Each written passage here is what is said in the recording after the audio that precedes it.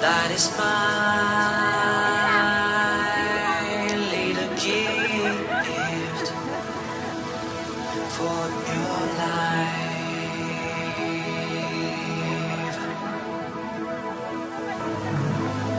Many times.